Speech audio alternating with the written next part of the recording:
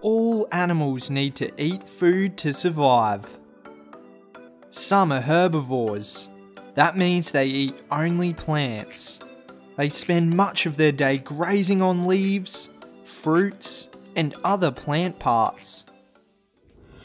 Others are carnivores. They feed on other animals.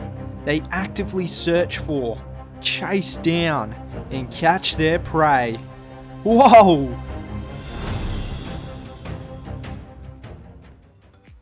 And others are not too fussy. They're omnivores.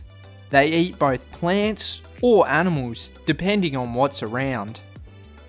But there's a fourth group of animals that don't feed on plants or chase down prey. They are scavengers. Have you ever eaten leftover pizza the next day? Well, that's what scavengers do. They feed on the food left over from other animals.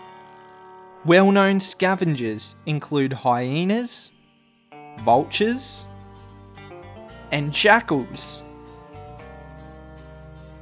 You'll also find scavengers in urban environments as the animals adapt their diets to change in habitat and food availability caused by human activities, which, sadly, is why this guy is often called a bin chicken down under.